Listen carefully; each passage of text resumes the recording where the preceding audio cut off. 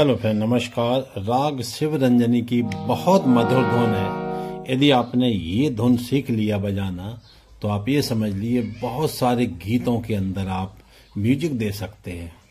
और बहुत ही शानदार और बहुत शॉर्ट में ये धुन है। दूसरी काली को सा मान करके मैं बता रहा हूँ। सा, रे, कोमल गा, पा, धा, सा। बस यहाँ तक नोट्स हैं। लोअर ऑक्टेव में।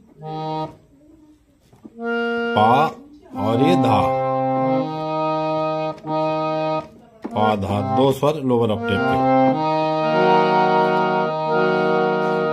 सिर्फ़ सा, रे, गा, पा, धा, सा।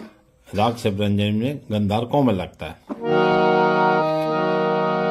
बजानी कैसे है? ताल कहरवा पे मैंने बजा के दिखाया।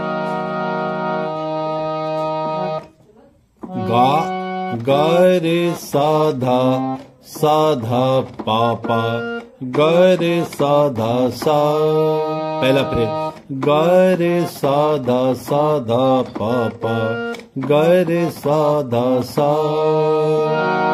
पहला फ्रेज तो ये दो बार इस फ्रेज को बजाएँ, और दूसरा फ्रेज है, उसको भी दो बार बजाएँ। ग प ध स ध स ध प ध प ग रे रे। ग प ध स ध स ध प ध प ग रे रे रे के ऊपर तीन मात्रा काल बढ़ाना है।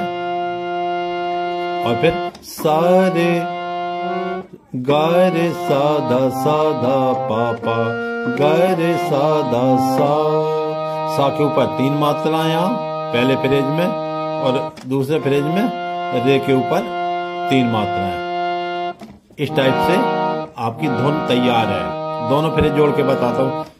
गारे साधा साधा पापा गारे साधा सा गारे साधा पापा गारे सा। ग प ध स ध स ध प ध प ग रे रे।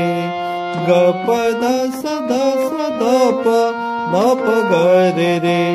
ग रे साधा साधा पापा ग रे साधा सा इस टाइप से आप इस धुन को बजाएँगे और इसको स्टेज पे भी बजा सकते हैं। ऐसा नहीं है, स्टेज पे बजाएँगे आप तो थोड़ी माहौल बनेगा, एक रंग जमेगा।